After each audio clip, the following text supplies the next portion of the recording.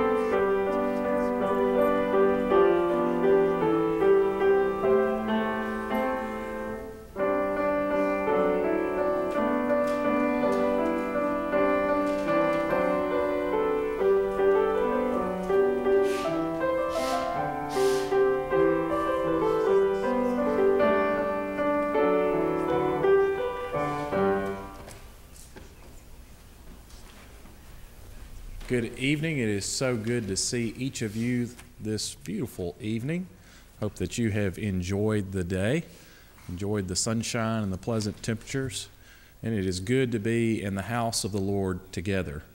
Just a few announcements this evening. Um, please remember our Lenten luncheons that uh, are on Wednesday at noon, uh, from noon to 12:45. We'll have a different pastor from churches throughout the Starkville area uh, preaching throughout the season of Lent.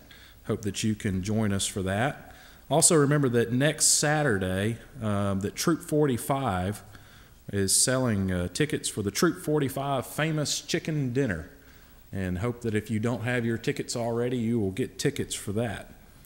This coming Friday, we will have a parents' night out from 6 to 9:30. And also, please remember the prayer quilts for Rosalind Foyle and Mary Stennis and the chapel. Go down and uh, say a prayer and, and tie a knot for them. Let's pray together. Almighty God, we thank you for this beautiful day. We thank you for this day that you have made. God, we thank you for this opportunity that we have to once again come together and worship you. God, to be drawn closer to you and closer to one another, to hear your word, so that we might be prepared to go out, to be lights in a dark world, to be your witnesses wherever we go. Thank you, Lord Jesus, for loving us in spite of us. In your name we pray. Amen. About three months ago, the most marvelous thing happened on Sunday night in the evening worship service. Do you remember what it was? Who said yes? What was it, Kitty? You moved to the front. Yes, it was the most marvelous. It took my breath away. In fact, my heart's almost stopped beating. I couldn't believe that I moved y'all from way in the back to the front. Uh, if you did that tonight, it would be the most. Thank you, Prentice. Oh, thank y'all. You are wonderful. Isn't that glorious? Thank you so much. The hymns are going to sound better, and Greg will do a much better job. Thank you so much. Did you hear my heart stop? This wonderful. Thank you so much for doing that.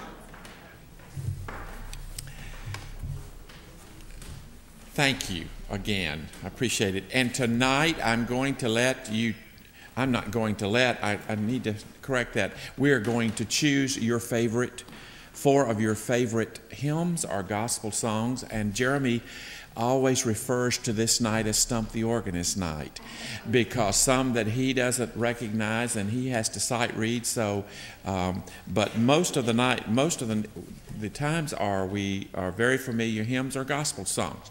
So I need your number, and the first four that I hear are the ones we're going to do.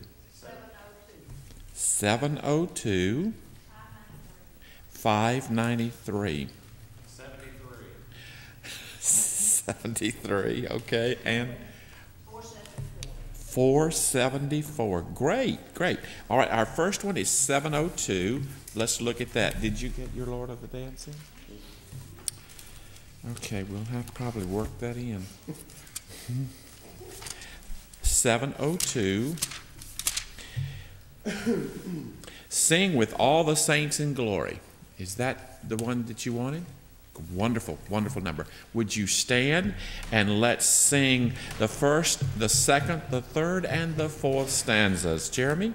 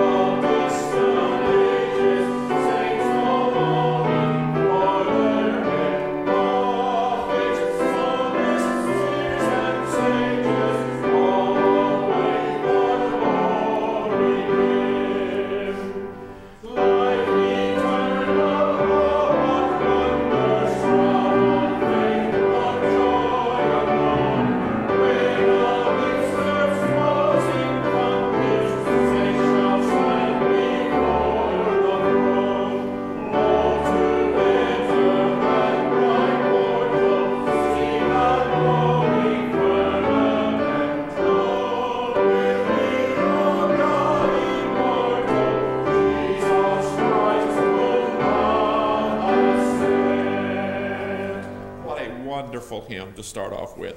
593.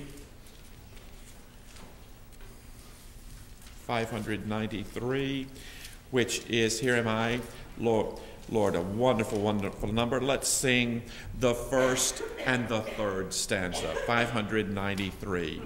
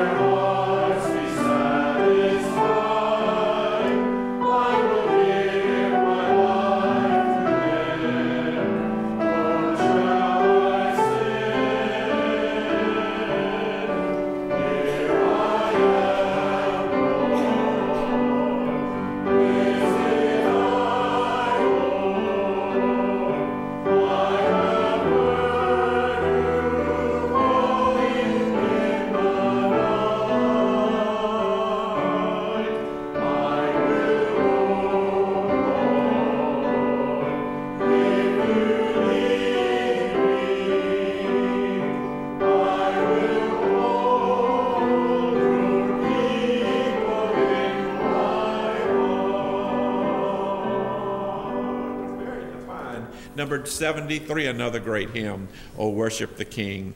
Let us sing the first, the third, and the fifth stanza. The first, the third, and the fifth, and that's page 73, please.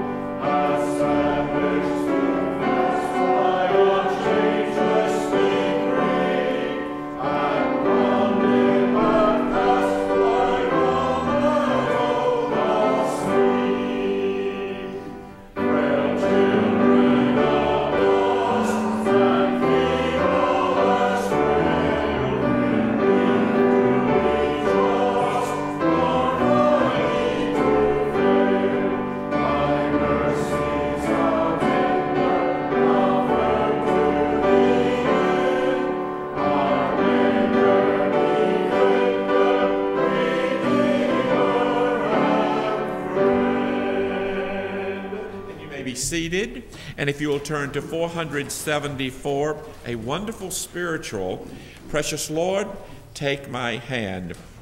And let's sing together the first and the third stanzas, numbered 474.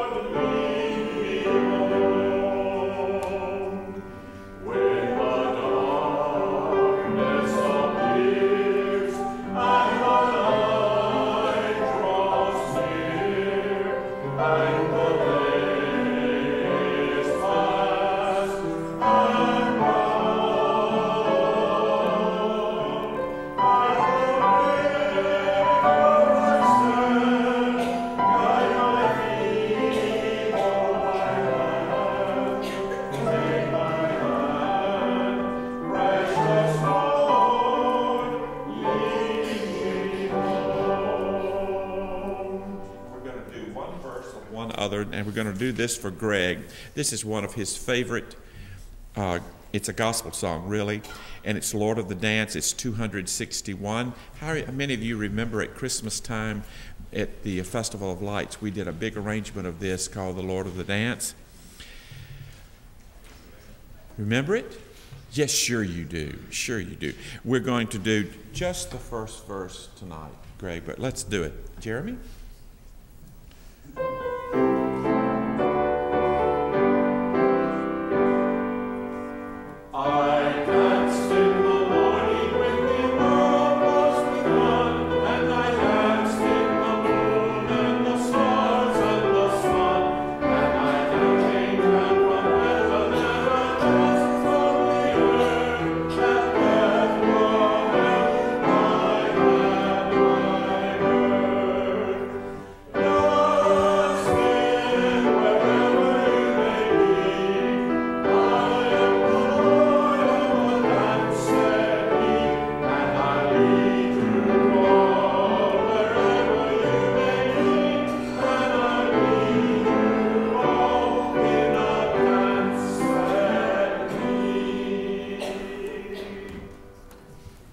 You so much for moving again. I appreciate it.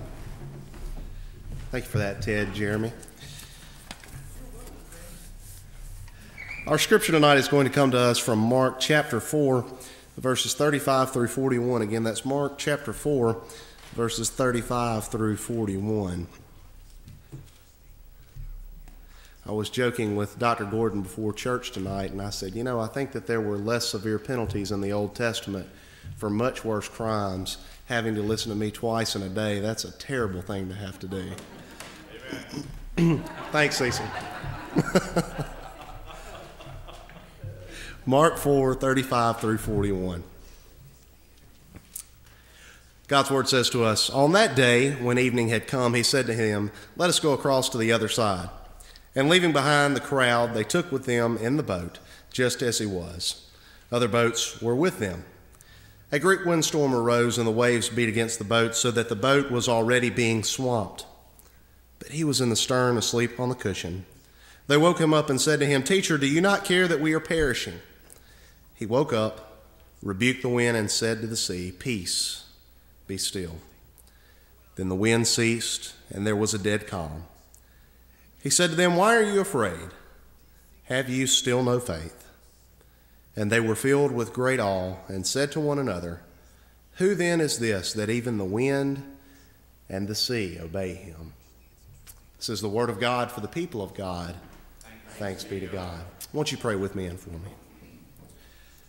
Gracious God, we thank you for the opportunity to gather again tonight. Lord, we pray that you open our hearts and we pray that you open our minds. Lord, I pray that you bless my thoughts and words, and I pray that you bless the meditations of your people's heart. For you are our rock and our Redeemer. Amen. An interesting bit of trivia for you. Did you know that the bathtub was actually invented in 1850? The bathtub was invented in 1850, and the telephone was invented in 1875.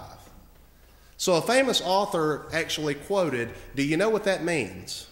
That means that you could take a bath in peace for 25 years without the telephone ringing. It seems to never fail, does it? Just when you think you have some peace and quiet, the telephone rings, the children begin to get upset, the grandchildren cry, a water pipe breaks, or there's a knock at the door. Peace is a precious commodity, and it is so, so elusive for us in this day and time. Peace is a beautiful word. Yet it's a word that is a stranger to many people today, many of us today. The fast paced lifestyle that we have. We have an unprecedented amount of material possessions that we want.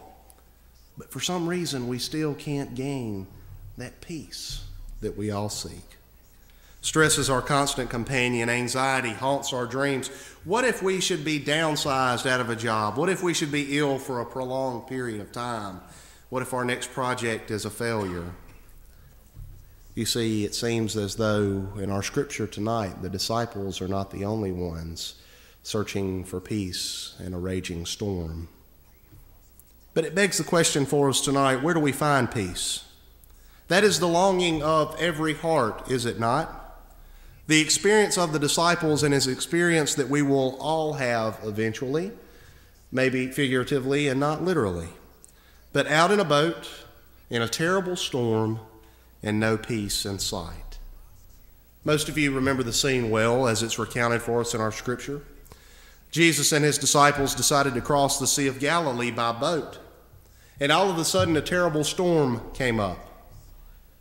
The winds howled, the waves beat against their boat to the point that it began to fill with water. The disciples, they began to panic. Now, it's interesting that Jesus was at the stern of the boat and he wasn't just sitting there, he was actually asleep. So that means one of two things. Jesus was either a very sound sleeper, or more likely, he was at peace with all of the world. I wonder how many people, how many of us toss and turn in our beds at night, not because of the storm outside, but because of the storm that rages inside. The disciples woke Jesus, and in their disturbed state of mind, they asked him, Do you not care if we perish? And Mark tells us simply that Jesus rebuked the wind and said to the sea, Peace, Be still. And the wind ceased, and there was a great calm. Then Jesus said to them, Why are you afraid? Still have you no faith? Mark tells us that the disciples were filled with awe and said to one another, Who is this that even the wind and the waves obey him? The scripture teaches us many things. But one thing that we are all familiar with is that storms are a day in, day out part of life. Some days are pleasant and non challenging, but as we noted, weather can change rapidly. Soon thunder is crashing all around us, and our tiny craft is tossed on the waves of life. Of course, storm is a relative term. Each of us has to give our own definition to the nature of a storm, whether it is an illness, whether it is a family matter, whether it is anxiety, whether it is a concern, whether it's a spiritual matter. Each of us has to define what that storm is. But each of us will have storms in our lives. Now, when we hear about the storm and we think about the disciples and, and what was going on, well, we think, well, of course, if something like this was happening and we were in a boat, we would panic too. But we have to remember that these were not inexperienced sailors. After all, what did they do for a living? They were fishermen. They had fished these waters many times and experienced many storms, but for some reason, this storm was different, and they were afraid. I don't think there's anybody in this room that has never been afraid for one reason or the other. Fear is a part of life, and fear comes mostly when we face the storms of life. The artist Rembrandt once painted a canvas titled The Storm on the Sea of Galilee. And if you examine the painting carefully, you will note that there are 14 men in the boat. There are 12 disciples plus Jesus. That makes 13. Who was the 14th passenger? It's Rembrandt himself. It's Rembrandt himself. He placed himself in the picture to present to us that each and every one of us will face a magnitude of different storms in our life, and we have to have faith because we were sitting there as the disciples were. Maybe we all know what it means to be on the verge of panic. Maybe all of us know what it's like to have fears build up so much that they overwhelm us. Each of us has to face our own storm. Often the greatest adversity we face is our own fear. Jesus rebuked the wind and said to the sea, Peace, be still. And the wind ceased, and there was a great calm. Then he asked his disciples, Why are you afraid? Have you still no faith? That's the question that many of ourselves, many of us might ask ourselves from time to time when the winds are howling and the waves are beating against the boat of life. Why am I afraid? Where's my faith? We have sung many songs with that same message. And sometimes it's hard to hold on to when the whole world is shaking and things are falling apart around us. Still, this is a message that we all need to hear. The message that there is one who quiets the winds and stills the waves. There is one who speaks to our hearts, and if we listen, will calm our fearful spirits as well. Author Linda Sledge recalls a day from her childhood that she will never forget. She was playing, playing on a beach outside of her parents' condominium. She was playing with her little plastic red pail and shovel, and she wandered off too deep into the sea. The waves began to crash around her, and she lost her footing. As soon as she would gain it again, it seems as though the waves would continually sweep her up and she was knocked down, not knowing what was going to happen to her. Then all of a sudden, she saw two arms reaching out for her. It was her father who pulled her up and said, I was watching you the entire time. So many of us can relate to that story or should relate to that story. Because waves beat down on us in life, and we wonder which way is up, what's going to happen, if anybody cares, if anybody is watching. But then God, through His love, through His forgiveness, reaches out and says, I've been here with you the entire time. So tonight, those are Christ's words to us that He is not sleeping, that He is watching over us, that He is with us even through the storms of life. The question for us tonight is why are we afraid? Have we still no faith? In the name of the Father, and of the Son, and of the Holy Spirit. Amen. This evening, we open up the altar for prayer time. Come as you're led and do as you will.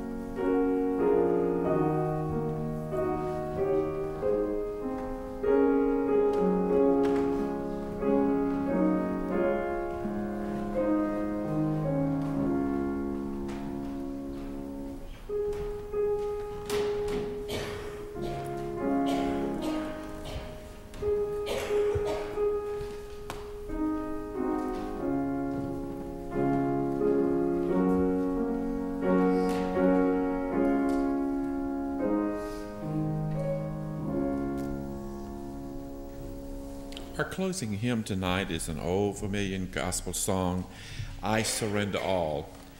We're going to sing the first and the fifth stanzas, and I am going to ask that on the last stanza, on the refrain, I'm going to ask Jeremy not to play, and we're going to sing it a cappella. And if you sing a part, would you sing that part, please? Uh, would you stand and let's sing the first and the fifth stanzas, number 354. Let's stand together.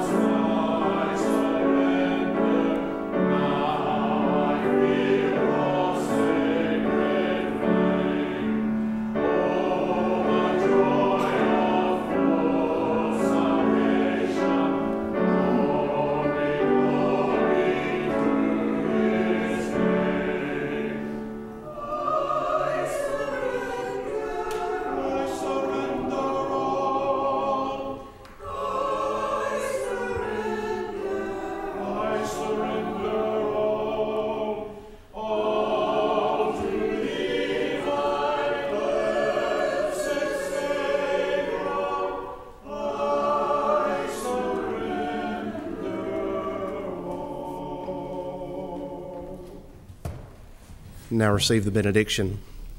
Go in peace and serve the Lord, and have faith, because God is with us even through life's storms. Amen.